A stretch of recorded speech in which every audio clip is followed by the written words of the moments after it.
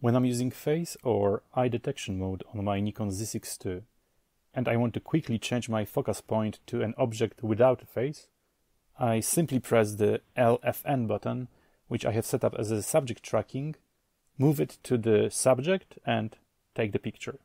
When I'm done, I press the LFN button again and I'm back in face detection mode. To learn how to set the LFN button on your Nikon Z camera, please check my previous video.